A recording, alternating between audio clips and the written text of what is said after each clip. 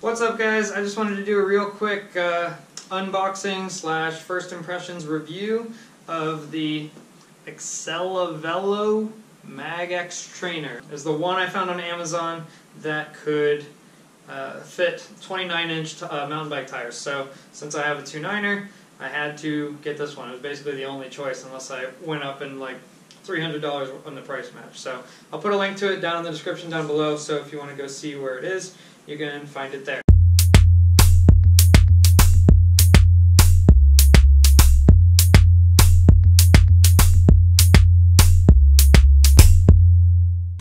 First impressions of the box is that UPS doesn't care.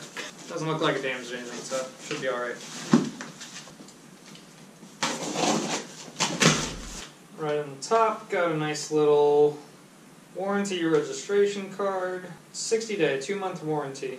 So that's useful. If I really don't like it in this review, then I can either return it to Amazon or go get something fixed. So, Whoa, that's heavy. So far, feels more sturdy than I was expecting.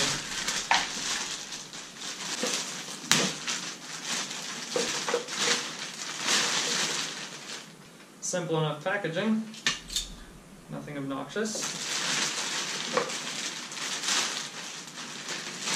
Got a loose part rolling around in the bag. Let's see where that goes. Ah. So that pops out really easily. Might have to use some glue or something to keep that in place. Looks like it comes with one spindle, and a trainer block for the front. And I'm assuming this is properly measured for the right height for a 29 inch bike, but we'll see if I need to buy another one or not.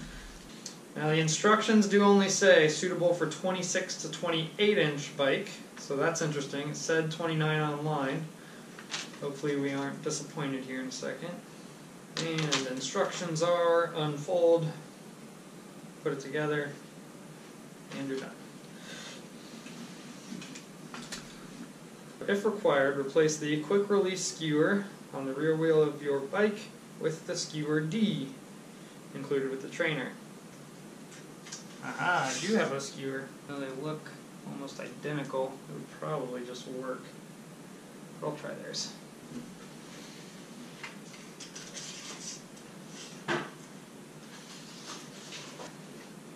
Alright. So we've got the quick release clamp on this side. This side, as I was talking about before, has these two adjustments. So one holds the bike in place, this one locks that. And then on the bottom here, this just lays on top of the bolt that we have here. As we'll tighten it down, the uh, the resistance will come closer to the tire, hold it tighter. So, okay set the bike in here. Okay, so first one we're going to do is this side. And basically we just want to make sure that the tire ends up lined up with the resistance. Now this side will clamp on like that. So I did it first without adjusting anything and you can see down here we're almost centered. Uh, could stand to go to the right just a little bit. Um, it would probably work right here, but I just want to do this as best as I can, and it'll make things a little bit tighter and more snug. So let's move it over to the right just a little bit. Open that up a little bit. Loosen this up a little bit. There we go. That looks pretty good. I just want this to be just kind of giving enough force on the tire to keep the friction. So let's tighten this. Okay. Oh man. Oh, that's noisy already. This is gonna be. Whew. This is gonna be a noisy one. That is painful. Might need to do some modification to uh, find a way to quiet that down if possible, but we'll see. I think that's all there is to it. So let's put the uh, Let's put this front thing under the front tire. And that just lets us keep a more natural riding position. Feels pretty sturdy, so that's good. First on the left and sixth on the right. So I'm afraid this noise might be damage or something. Maybe something's just rubbing that got bent or something.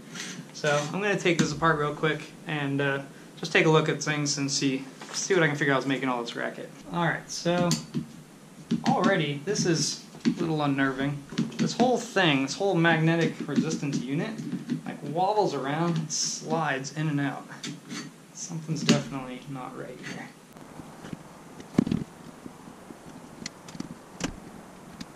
Alright, so let's take out the magnetic resistance first. The magnetic resistance unit inside of this thing is this ring that's supposed to have evenly spaced magnets all around it. This one came loose. The adhesive is not strong enough to hold that on. So that's not too reassuring. Um, starting to see maybe why this unit was a little bit cheaper than the other ones that fit the 29 inch tire. Now, since this one said it only fits 27 inch tires on the instructions, I'm tempted to go try the other ones and see if I have to return them or not all these are glued on. It's very pretty strong adhesive, it seems like, but apparently not strong enough to hold this guy on because it just came right off. So for now I'll just respace that. We'll see, but I'm guessing that's what's causing all the noise. Something's still catching. Ah, I see. So that's where the, uh, the plastic going in and out.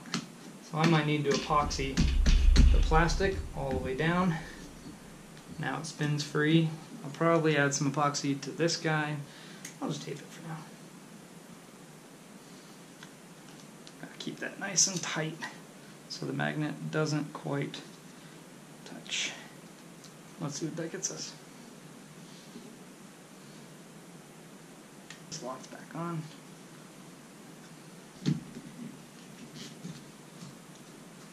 Alright, so far so good.